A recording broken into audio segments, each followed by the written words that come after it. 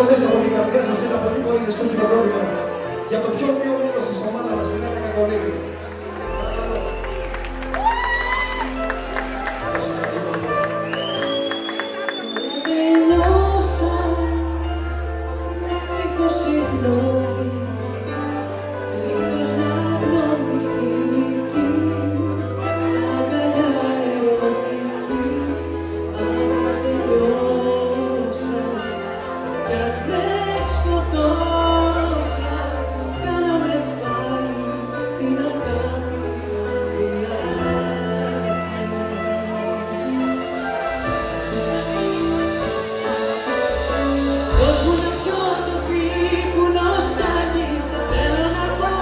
συγγνώμη για σ' το μπορώ σε κάποιος